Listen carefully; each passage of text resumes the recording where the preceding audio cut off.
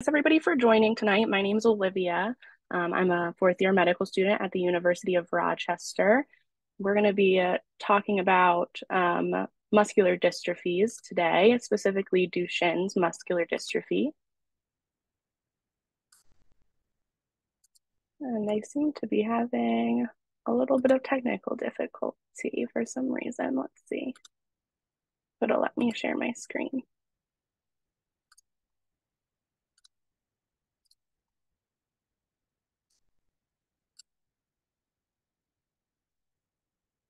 There we go. Oh. Hmm. Sorry, guys, this is being a little bit funky for me.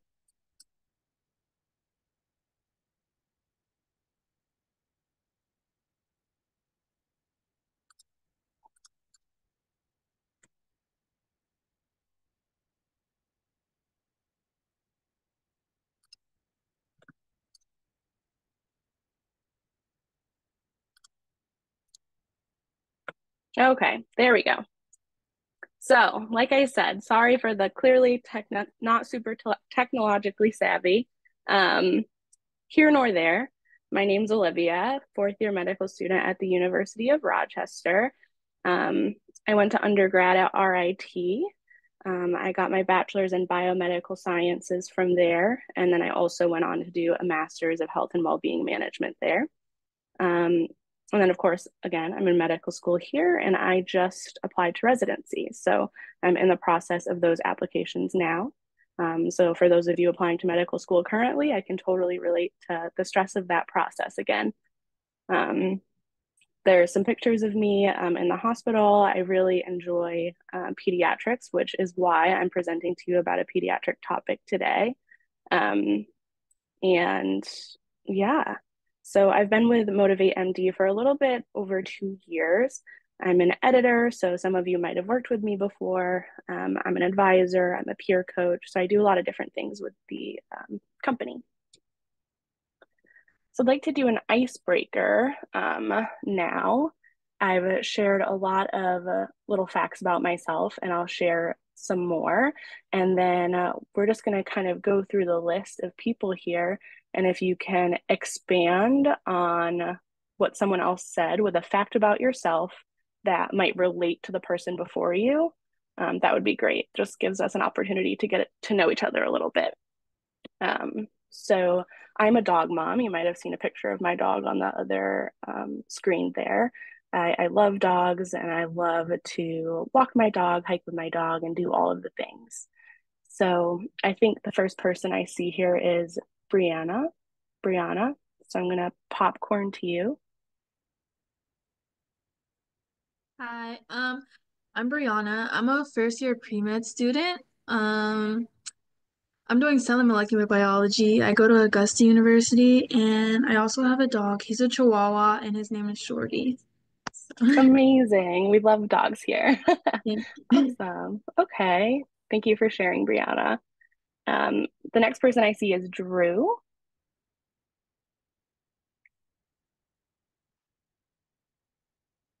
Hi, I'm Drew uh, from Oklahoma, a career changer here. So I am 39 right now. Uh, I also have a dog and I live in Oklahoma, so I like to bird hunt with that dog. Lovely.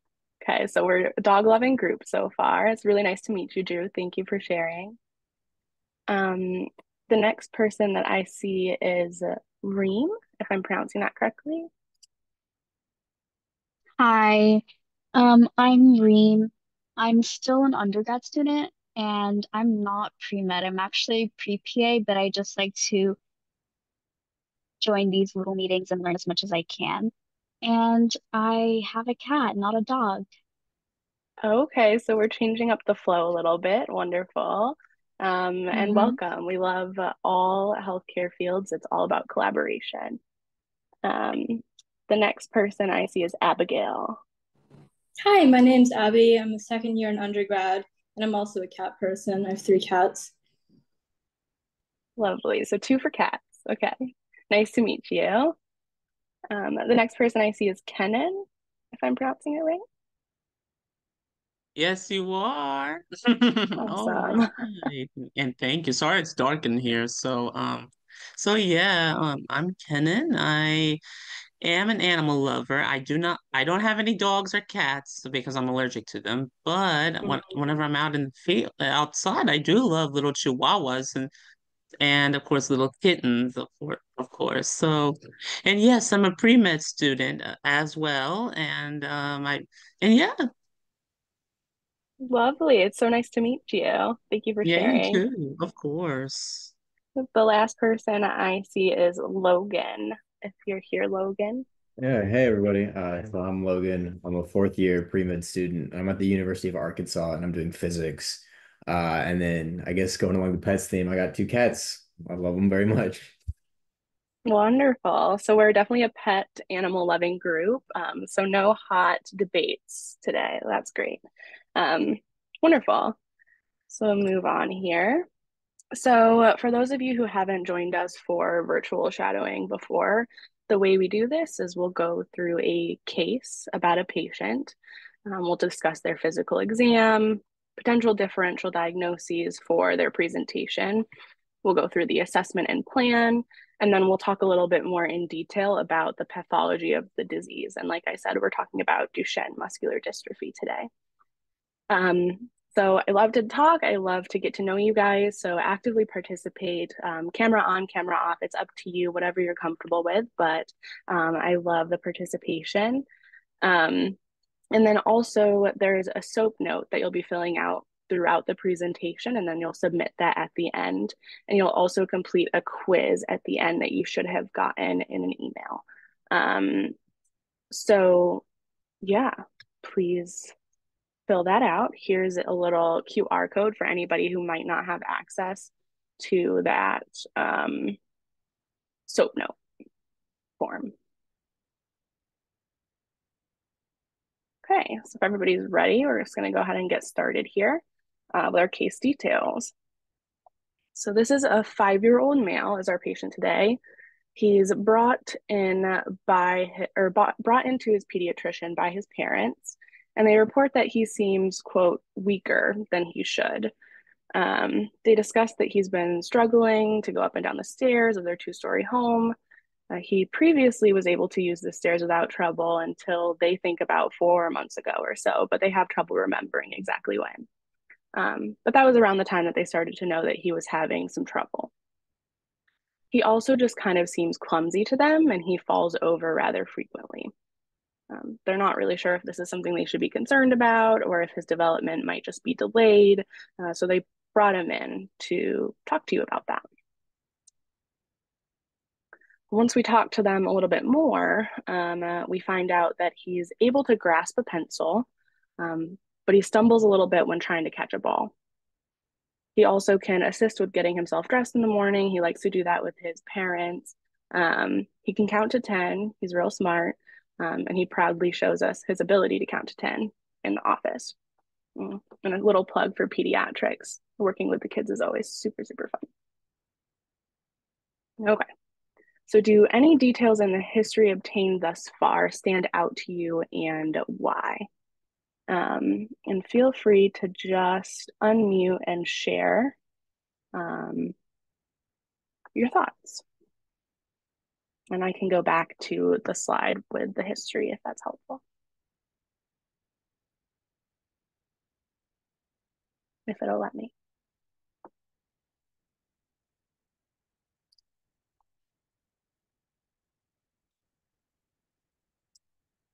No, it might not. Yeah, it, oh, there we go. So any details here stand out to you? Some of them may be bolded.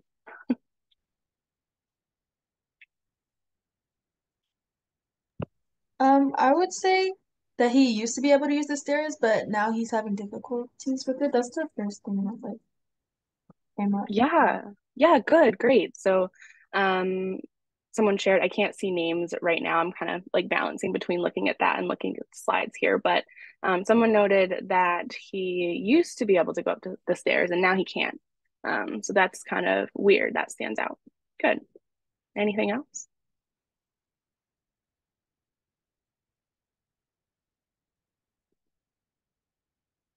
All right, we'll move on. Why do you think the pediatrician might have asked about this patient's ability to count to 10 or throw a ball?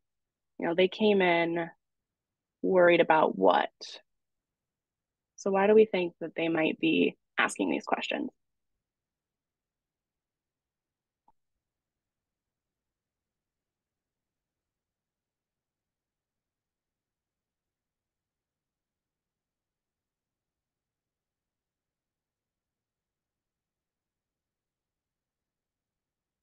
Any thoughts?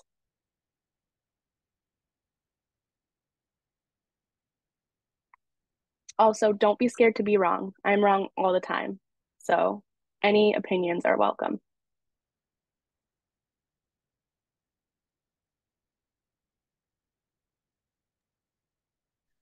The parents were worried about him being behind pace, like mentally.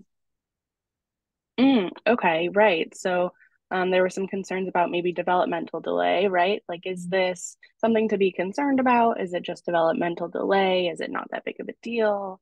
Um, good. All right. So this is a little bit overwhelming to look at. Um, and, you know, if you're going into medicine, which obviously all of you seem to plan to do, um, this is something you'll see over and over and over again. And you still probably won't remember it all, and that's okay. Um, but essentially, children have these milestones. Um, there's various categories, and one of them that we look for are gross motor milestones or like major motor milestones.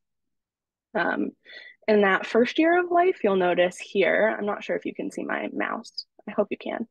Um, but here, we really look at milestones pretty frequently, right? Like this first one, we have zero to two months, three to four months, six to eight months. And then all of a sudden we start to jump like by year. So that's something to note here. But specifically says by 13 to 14 months, a child should be able to walk alone pretty well. There's usually some sort of leeway in here, right? Every kid's a little bit different. It doesn't have to be a hard and fast rule. Um, but generally, that's when we look for a kid to be able to walk on their own. By two years, they should be able to walk up and down the stairs alone. So initially, you know, 15 to 18 months, they might start to walk up the stairs. They still have to crawl a little bit to get down the stairs. But by two years, they should be able to do that pretty well. And then by four years, they should be able to catch a ball pretty reliably without stumbling, without having any problems. So if we think about that in relation to our patient's presentation, um, he was five years old, right? And what are the things that he was struggling with, if anybody can share?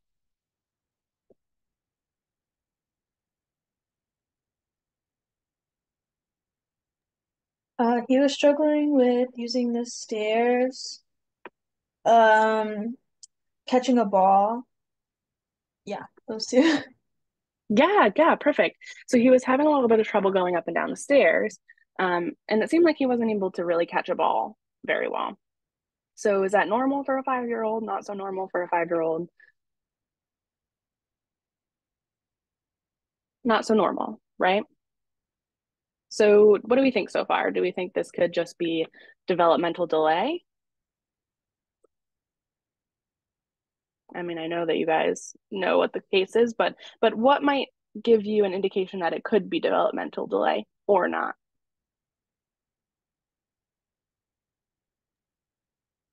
He started out being able to go up the stairs and then it started to decline or get worse. Yeah, perfect. That's a huge point and and that's a really key thing to look at when you're assessing a patient, right? Is kind of that timeline. Have they ever been able to do it? Um, and then they couldn't anymore? Were they never able to do it? Awesome. Okay, so like I said, there's other milestones too.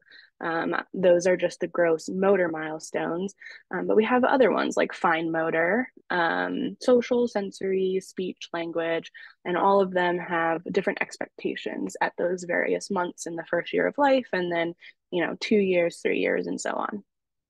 Um, so we talked a little bit about how the pediatrician asked, you know, is he able to um, dress himself?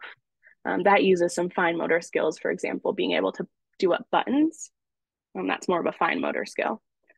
Um, the same thing with being able to grab, grasp a pencil. If you remember, he was able to grasp a pencil pretty well. Um, and that little pincher grasp um, and the way that we expect a child to be able to hold a pencil eventually um, is something they should learn pretty early on. Um, here in the picture is just a CDC's um, this is like a flyer essentially, and you can actually print these out on the CDC's website and provide them to parents or recommend that parents look at these online. Um, and it can give parents like a general idea of what to expect for their child at various ages.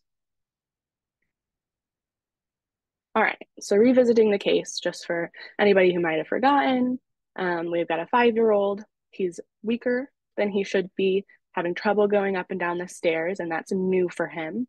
Seems a little bit clumsy, but he's able to grasp a pencil. He's able to count to 10.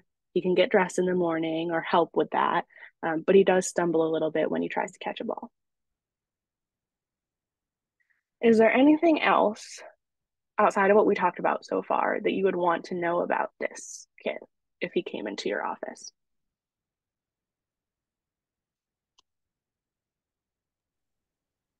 I would say family history of anything. Yeah, family history is huge. Good.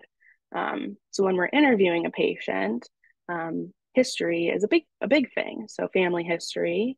Um, what other types of history could we take? Um, if he has a past medical history or if he takes any other medications. Yeah, awesome, awesome. So any past medical history, any medications, good stuff. Um, all really important things to ask because they can put things into context, right? What could this be related to? Um, so we have past medical history, family history, medications. One really nice thing with pediatrics is oftentimes, unless they're super medically complex, there's not really much medical history to, to speak of um, or medications besides the occasional allergy med or something like that. Um, but oftentimes um, they're pretty healthy, thankfully. Good. Is there anything else that you want to know?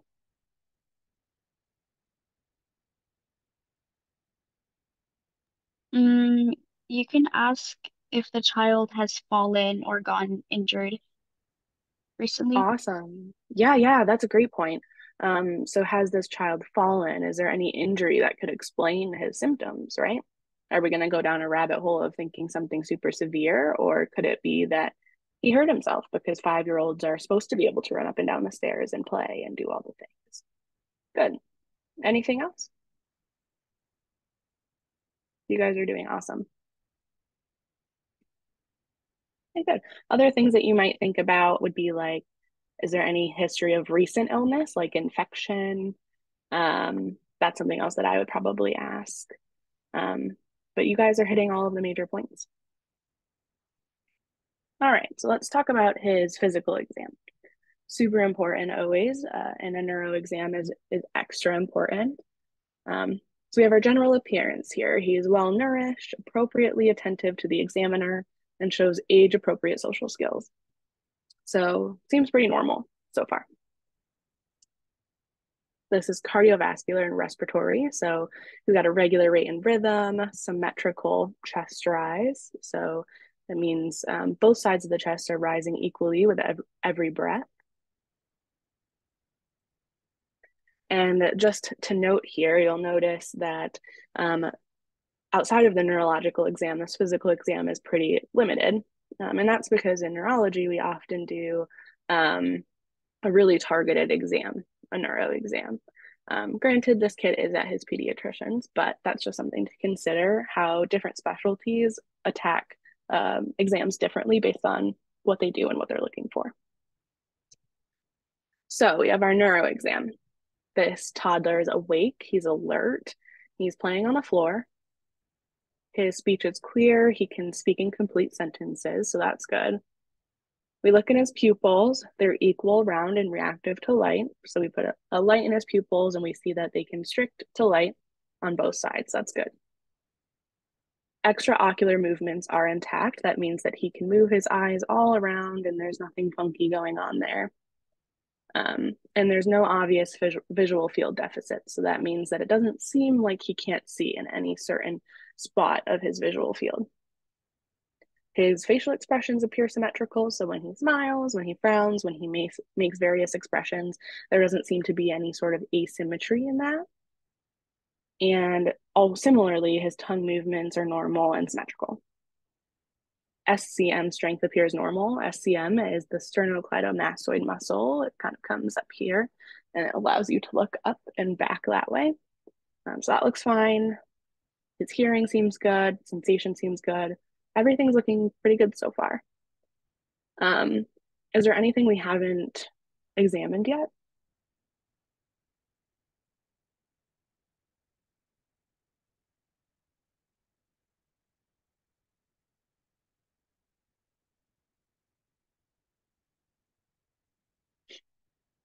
Or for uh, in other words, what sort of things would you really want to make sure you examine super closely in this kiddo?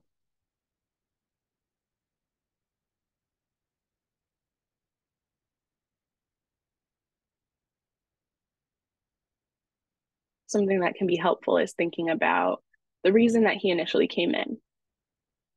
So why is he here?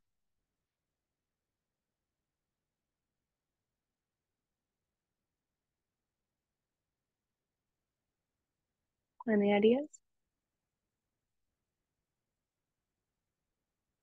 So he's having trouble going up up and down the stairs. Oh, is somebody gonna say something? I was just gonna say his muscles. Yeah, great, great. Muscles and bones. Okay, good. So, you know, he's having trouble going up and down the stairs. So let's see, you know, what his strength looks like and movement. Good, awesome. So his muscle tone appears normal. Muscle tone essentially um, is when you look at somebody and does it seem like, um, or muscle tone rather, is when you examine a child and um, they might seem like they have really low tone. So if you think about, I'm going to use a baby as an example. If I were to hold up a baby and they were to be super, super, super floppy and not really move much, that would be really low tone. Um, versus if I picked up a baby and their um, legs were super, super stiff and straight, that would be high tone. Um, think about it almost like if your muscles were in a constant state of um, flexion or relaxation, super, super relaxed. That's kind of a basic way to look at that. Um, so muscle tone appears normal, um, but there's slightly decreased bulk in the bilateral lower extremities. Um, bulk is when you look at the muscle, right? How big is it? Does it seem like a normal size? Does it seem too small? Does it seem really big? Um, he's walking independently, but he's waddling a little bit when he walks. So that's kind of funky. He's a little bit unsteady. He often trips over his feet. Um, and when he tries to stand up from the ground, when he's sitting on the ground, he uses his hands for support. And that's something that we call the Gower sign. When we do test his formal strength, um, we see pretty good strength in his upper extremities. So, looking at his shoulders, his biceps, his triceps, um, even you can look at wrists and things. Um, however, when we get to the lower extremities, his hips and his knees, they seem a little bit weaker than they should be. And you'll see numbers down there like four out of five, three out of five. Um, so not a full five out of five strength. And we'll talk a little bit more about that. We also check his reflexes. It's a big thing in neurology, right? Is the reflex hammer. And in the bilateral lower extremities and in both knees, um, they're one plus, and in the upper extremities, they're two plus is that normal or abnormal? Does anybody know with the the reflexes? Or you could take a an educated guess.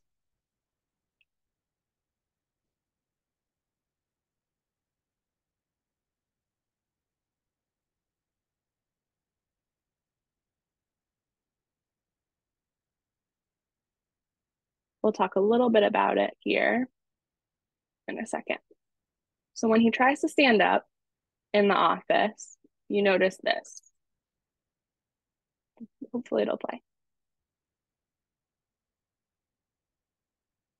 So that's how he stands up. I'll play it one more time.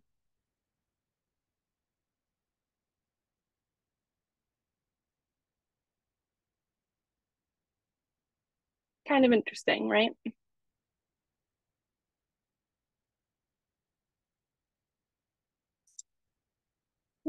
Let's see. Well, it's going to let me go past it. There we go. Okay.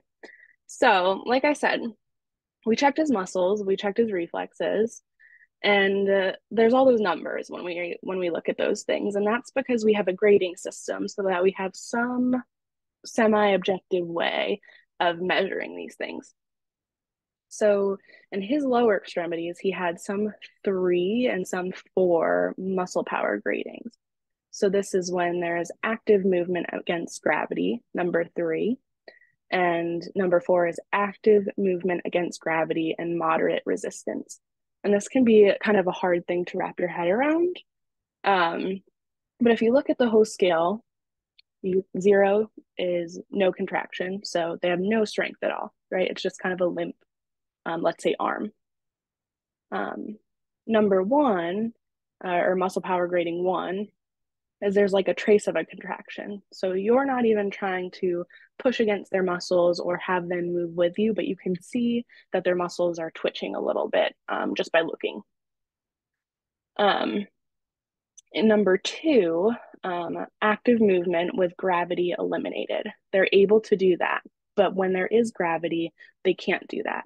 So a good way to think about this is that if I have my arm up here um, and I were to hold the patient's arm and I'm kind of eliminating gravity in a sense from them, um, I'm supporting their arm essentially and they can move their arm like this, that would be uh, number two. Number three, active movement against gravity would be um, I can kind of move my arm on my own. Number four would be um, doing this with someone pushing a little bit against me and um, but but struggling not full strength. And then number five would be able to provide total resistance to someone pushing against my arm without a problem. Again a little hard to wrap your mind around but the more that you practice it um, the more that you become familiar with it. And then similarly with uh, reflex grading we check reflexes all over the body. Um, you can check um, lower extremities, upper extremities, and there's multiple spots within those to check. Um, and he had two plus responses and one plus responses. So two plus is normal. So if you think of like the doctor hitting your knee at the doctor's office and your knee kicks out, that's a pretty normal response if you have normal reflexes. Um, one plus would be you have a slight little twitch, but it's a little bit weak. So we obviously at this point know that his physical exam is not normal. So we want to do a little bit more investigation. So we look at some labs. We look at a CMP. This is a sodium level, 140, that's normal. Potassium, chloride, and we'll just keep going from there. Okay, so we have his CMP results. All of this is normal. Um, and if you have like something to reference at some point when you're kind of learning what's normal and abnormal, which is something you won't have to know for a long time, um, you start to get familiar with what's generally kind of average. But this is this is a pretty normal CMP. Then we get a CBC, so this is looking at the complete blood count. So what do his white blood cells look like, red blood cells, things like that. And this is also normal. Seems pretty, pretty good so far. Could you think of anything that might potentially be abnormal in his labs? And this is a this is a really tough question and I don't expect you to know, but you could try to guess.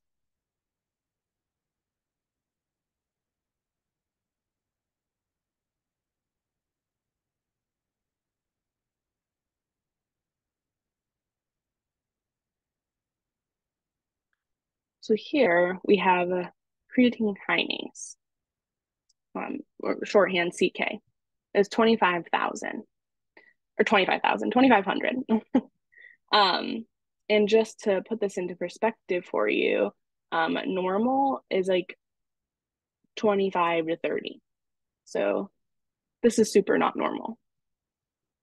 And we'll talk more about how this relates to all of the uh, pathology shortly. Okay, so normal CMP, his electrolytes look good, his blood count looks good, but he has this wonky CK reading.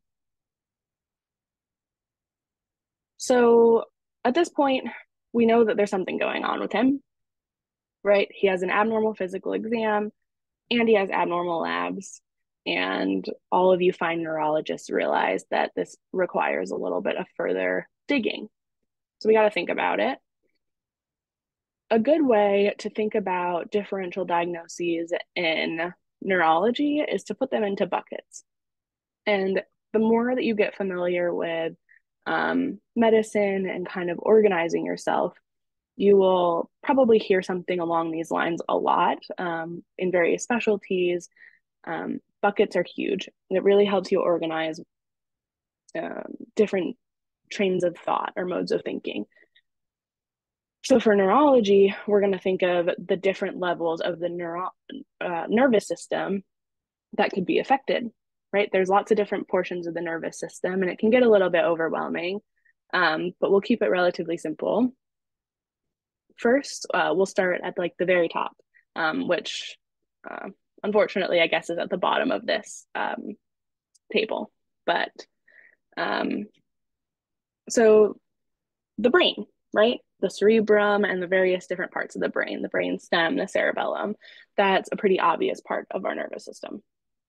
So if something were to be going wrong there, um, what could it be? So hypotonic cerebral palsy is one of those things. Um, you may have may or may not have heard of cerebral palsy before. Does anybody know what cerebral palsy is?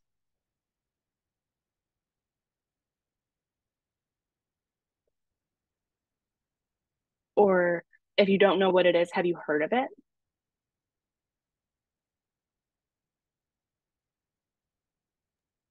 Actually, I do know a lot about cerebral palsy. I can, and I can definitely tell you. Yeah, give me a fact. What is cerebral palsy? Sure. So, cerebral palsy is is, a type of muscular um disease that um that deals involved with the muscles. Like let's say like let's say like it, it involves with the hands, the um, and of course the legs like not enough movement within the, the muscles and it's a mo think Mm, of it as like a delay in in those muscles that's what i like to think of as cp because i know a lot of friends who have cp and some of them are like in a wheelchair and can't even walk because of the the delay in those muscles that help them coordinate with eyes the movement everything so yeah yeah. Yeah, good, excellent. Um, you're totally on the right track there. Yeah, cerebral palsy definitely affects our muscles, which is why we have it on this differential diagnosis list, right? Um, so cerebral palsy is um, damage to the brain, essentially, that happens around birth, and then it has downstream effects that can affect our muscles, and we'll we won't go any further into it than that um, for the for the sake of time. But awesome, good job. So the next level we could look at is the spinal cord, right? If something's not going on in the brain, something could also be going on in the spinal cord. So, what could be going on there? Um, spinal muscular atrophy is another diagnosis that can kind of cause similar symptoms in terms of like muscular weakness, and that occurs as an issue at the level of the spinal cord versus an issue at the level of the brain. So, that's an option. We also have just our, our nerves, right? Our peripheral nerves. So, we have brain, spinal cord, and then a bunch of nerves coming out of our spinal cord that supply our muscles and our skin and allow us to move and feel things and all of that stuff. So things can go wrong with those nerves themselves. Things include multiple sclerosis, which is a more common one that people have, tend to hear of. Um, and then another one is Guillain-Barré syndrome, um, which is a post-viral syndrome that affects the peripheral nerves. Um, another one is the neuromuscular junction. So for those of you who are pre-meds, you probably know what the neuromuscular junction is. Can anybody tell me what that is?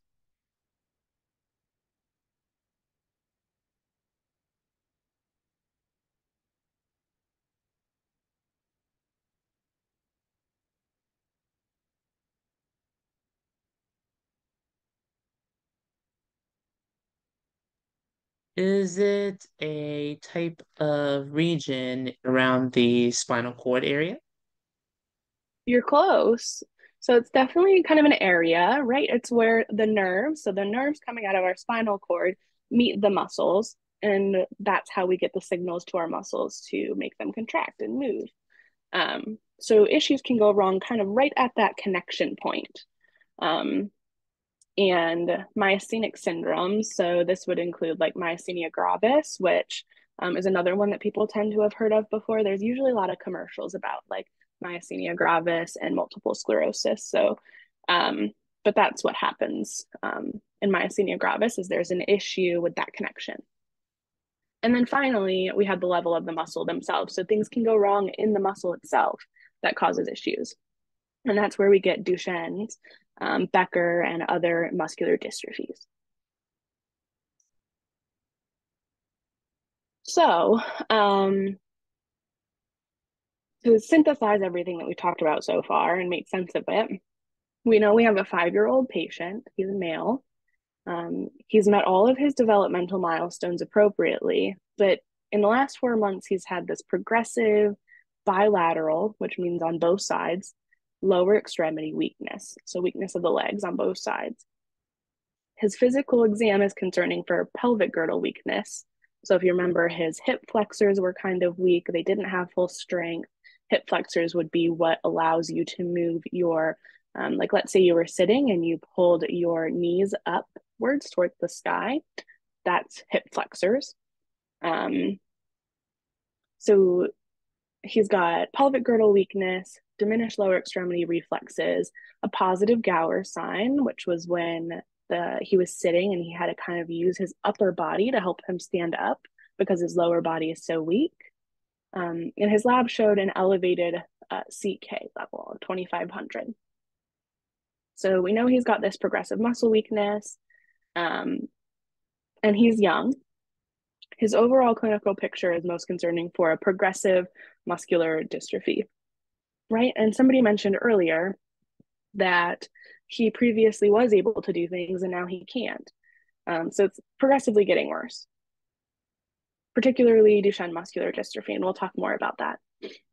So we'll plan to work this up further. We obviously have these concerns that it could be this, but we want to confirm.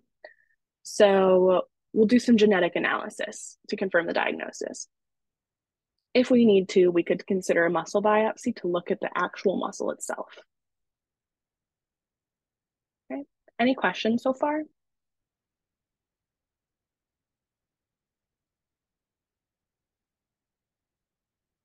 Okay. So Duchenne muscular dystrophy. It's a progressive genetic muscular dystrophy. And muscular dystrophy just means a weakening and wasting of the muscles. Uh, so we talked a little bit about muscle um, bulk in the physical exam, and it said that he had some decreased muscle bulk, um, and that's secondary to this, right? They're kind of wasting away almost. This happens due to uh, damage to a specific gene called the dystrophin gene, and we'll talk a little bit more about how that all works in a minute. But damage to this particular gene is what results in this phenotype. Um, and if you know what a phenotype is, that's just like kind of his outward presentation and these symptoms that we can visualize. It's inherited in an X-linked recessive fashion, um, which some of you might know how that works based on some of your studies in undergrad. But essentially, this means that males are pretty much always the ones that are affected. Um, so we have the X, Y, and Y chromosomes um, that has to do with genetic sex, biological sex. Um, and this particular gene is on that X chromosome. But we didn't have any family history reported. You know, they didn't say anything about family history. So, what the heck? Do we think he actually has Duchenne? Can anybody talk to me a little bit about what could be going on there? Uh, if his mother is heterozygous for the, the dystrophy and the recessive gene, then she wouldn't present with anything, and then his dad would just pass along the Y gene, so that wouldn't really matter. Yeah, 100%. Awesome job. So, yeah, so mom could be a carrier or would be a carrier in this point for sure. Um, and females tend not to be affected. Now, there are instances where carriers, female carriers, have presenting symptoms. It's relatively rare. It can happen, um, and it's it's rare, but good. Um, and another thing is spontaneous mutations can occur. Um, so sometimes um, a mutation might occur and it just happens to be in this dystrophin gene. And so we get this presentation without any family history. Um, but just like you said, um, it would have been passed down in the females on his maternal side uh, for a while. And so it could have been a while since there was a male that actually was presenting um, with Duchenne. Or even if it was just a couple generations ago, um, it's very well maybe that a grandfather or a great grandfather had passed away secondary to Duchenne before any official diagnosis was made. So it just might be that the family history is unknown. And then can anybody tell me what this picture down here is of? What is that called?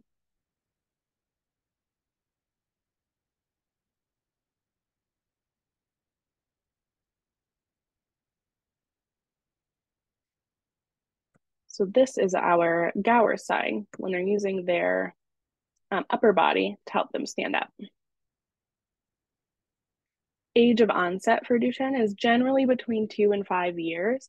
Um, I hate to use the word onset because it's really more like um, diagnosis is between two and five years. Um, that's when we start to really see the symptoms. They get noticed, and then they're brought into the doctors, and they they get diagnosed. Um, so just like somebody said, X-linked recessive um, genetic defect. So um, sons or male um, infants are affected. And this visualizes exactly um, what you said beautifully. So like I said, I was going to tell you a little bit more about that dystrophin gene. So it codes for a protein that anchors the cytoskeleton of skeletal and actually cardiac muscles as well to the extracellular matrix. And there's some GIFs that I am not skilled enough to make, but they came from this YouTube video down here um, that illustrate this process a little bit. Um, so mutations in this protein obviously lead to altered dystrophin structure, so that protein no longer functions correctly. Um, and this actually ends up leading to a disruption in that um, like cell wall um, or cell site the cytoskeleton, which leads to necrosis of affected muscles and eventually replacement of that muscle tissue with connective tissue and fatty tissue. Um, so it's just really a non-functional muscle at all. Of note, the dystrophin gene is the largest known protein coding gene in the human um, DNA. So this means that it's at an increased risk for spontaneous mutations. Just because it's so big, um, it's pretty easy or likely for something to happen to it. So clinical features, we talked a little bit about some of these. Um, this is kind of like that waddling gait that I mentioned. Um, and then this is another uh, Gower sign that you can see happening here. Um, and this waddling gait happens just because of that pelvic girdle weakness. So the weakness of their um, hips um, makes it so that they just can't really support themselves very well. Um, we also have that progressive muscle paresis and atrophy, so weakness, atrophy, or wasting of the muscles. And this starts in the proximal lower limb. So, like I've been saying, that pelvic girdle, and then it extends to the upper extremities as the disease progresses. So, again, this is a progressive muscular dystrophy. So once symptoms start, they just kind of keep getting worse. We have the weak reflexes, which we saw in our patient. We already talked about these. Calf pseudohypertrophy is when, because of that muscle necrosis and the replacement with connective and fatty tissue, um, it might look like the calf muscles are large, um, so hypertrophic or hypertrophied, um, but it's pseudo. So, so it's not actually hypertrophied. It's not actually larger muscles. It's replacement of those muscles with fatty tissue.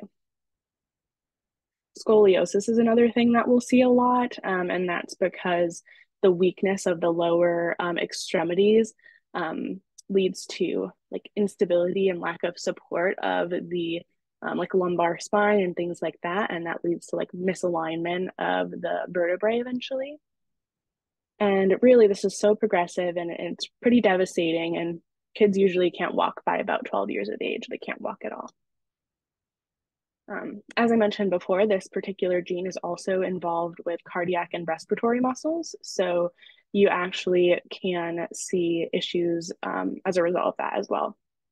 One of these is dilated cardiomyopathy, which essentially just um, leads to heart failure, different cardiac arrhythmias or abnormal heart rhythms, and respiratory insufficiency. So if you think about your diaphragm, excuse me, your diaphragm is a muscle. And if your diaphragm is not working properly, um, which helps you breathe in and out um, by expanding and kind of contracting that rib cage, you're going to have a hard time breathing. So, as we talked about um, diagnosis, we do blood testing. We use an increased serum creatine kinase, um, and that's basically a breakdown product. Um, it's a result of that muscle death essentially. And then we also do a genetic analysis because this is typically um, genetic, um, and we'll see abnormalities in that dystrophin gene when we do that. If all of that is inconclusive, then um, our, our last resort would be doing a muscle biopsy, um, which there's a photo of that here, um, to, to look at the muscle itself and this is sort of illustrating you know this is a normal muscle i want to say fascicle. It's been a while since i've done had to know those specific terms but um, this is a muscle normal muscle. And then here you notice that all of that muscular tissue is kind of atrophied away and it's starting to be replaced by this orange stuff here. It's stained orange um, which is like fibrotic tissue and eventually it'll be fat Um, and that's essentially what I just said there. So management, um, we can do pharmacotherapy um, or medication. So glucocorticoids, which is just steroids, what that means, can help de help decrease inflammation. That can help slow and delay progression. Um, and then there's also genetic therapies that actually help to alter the process of DNA um, replication, um, transcription, and translation so that um, we end up with a at least somewhat functional dystrophin gene or pr protein rather. Um, essentially skips over the exon, helps skip over the exons that might otherwise be removed and result in a damaged um, protein. Something else that's really important is supportive care. So physiotherapy, essentially like PT exercises to help preserve or maintain whatever strength can be maintained as long as possible. Assistive devices, so crutches, walker, wheelchair, orthotics to help support joints. Proper nutrition, always good to do. And then psychological support for the patient and also often family. It's not an easy thing to go through, as you can imagine. Um, also important is assessment of respiratory and cardiac function, like we talked about. So we can do pulmonary function testing, which is seeing, you know, how well um, lungs expand and how much, um, uh, how, how well they're breathing essentially. And uh, some patients may end up needing a tracheostomy or a breathing tube through their um, neck. And this is just kind of permanent respiratory support. We also might use an EKG or an MRI to evaluate cardiac function. And other considerations might be medications to help manage heart failure if it's at that point. And immunizations are important too, um, trying to avoid any sort of infection or anything like that that will make an already sick child otherwise sicker, for lack of better words.